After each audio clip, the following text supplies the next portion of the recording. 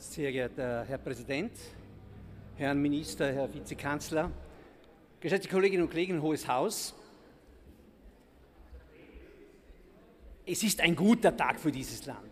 Wir beschließen heute eine umfassende Entlastung, wo wir den Menschen in dieser Teuerungswelle auch helfen. Ein Paket, das sofort 6 Milliarden zur Verfügung stellt und da kann man nicht von verfehlter Politik reden, sondern das ist substanzielle Hilfe und ich begrüße es ausdrücklich und möchte dem Herrn Vizekanzler und dem Herrn Finanzminister aus, ausdrücklich dafür danken, dass das auf den Weg gebracht wurde. In besonderer Weise, und das freut mich als Familiensprecher natürlich, ist hier auch in der Breite geholfen worden, weil die Familien entsprechend entlastet worden sind. Ganz klar unter der Prämisse, wer schnell hilft, hilft doppelt. Haben wir als Soforthilfen 6 Milliarden an Entlastung auf den Weg gebracht. Und weil es uns eben wichtig war, auch die Bürokratie hintanzuhalten, eben nicht mit Anträgen und Selbsterklärung zu arbeiten, haben wir auch den Weg der Einmalzahlungen, haben wir den Weg der bestehenden Systeme beschritten. Und das ist gut und richtig so, weil die Menschen unbürokratisch zu ihrem Geld kommen sollen und das wird mit diesem Paket auch erreicht. Und das Paket, das wir heute hier liegen haben, ein 28 Milliarden Paket, ist durchaus beeindruckend. Es ist umfassend, es ist schnell und es ist auch sozial ausgewogen. 28 Milliarden sofort und auch strukturell.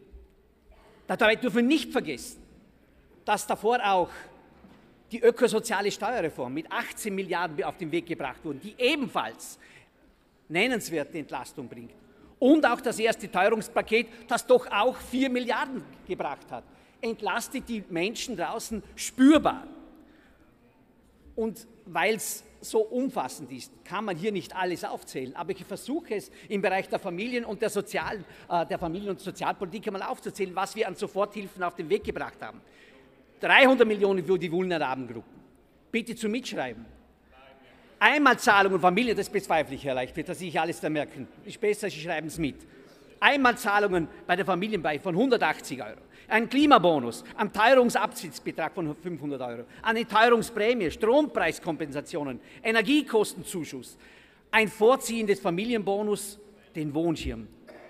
Wirklich ein umfassendes Paket. Und dazu kommen auch noch die strukturellen Maßnahmen, die Valorisierung der Familienbeihilfe, der Kinderabsitzbeträge, der Studienbeihilfe, der Kinderbetreuungsgelder und auch der Kindermehrbetrag. Alles wird angehoben und auch valorisiert in Zukunft. Das ist nachhaltige Familienpolitik, die diese Regierung auf den Weg gebracht hat. Und trotzdem sind wir ja gerne bereit, auch in den Diskurs zu treten und Argumente aufzunehmen. Und was waren nun die Vorschläge? Einer der Vorschläge im Familienbereich war, dass wir eben das Schulstartgeld auf August vorziehen sollen und verdoppeln sollen. Wir haben einen anderen Weg beschritten. Wir geben zur Familienbeihilfe, der normalen Familienbeihilfe im August, eine äh, Sonderfamilienbeihilfe von 180 Euro pro Kind dazu.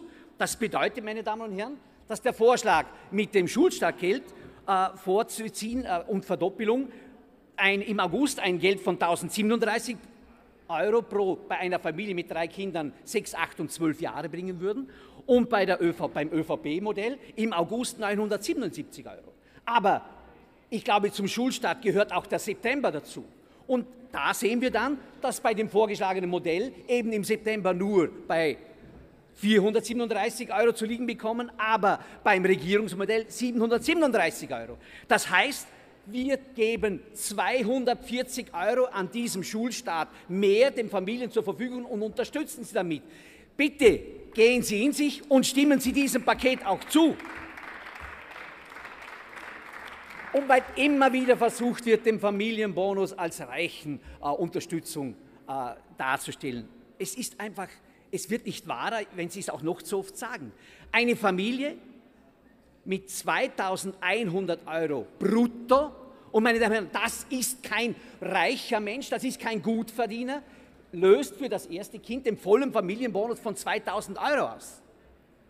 Und wenn Sie es mir nicht glauben, dann glauben Sie es dem Budgetdienst Und glauben Sie es auch den Wirtschaftsforschungsinstituten, die ganz klar sagen, es, der, der Familienbonus ist eine Punktlandung, er entlastet den Mittelstand und die unteren Einkommensschichten. Das ist die Realität.